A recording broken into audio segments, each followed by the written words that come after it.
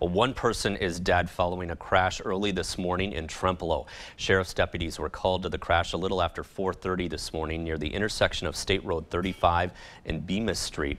The preliminary investigation found the driver of a truck crossed the center line, striking a car head-on. The driver of that car, whose name is not being released, was killed. The driver of the truck was taken to a local hospital with non-life-threatening injuries.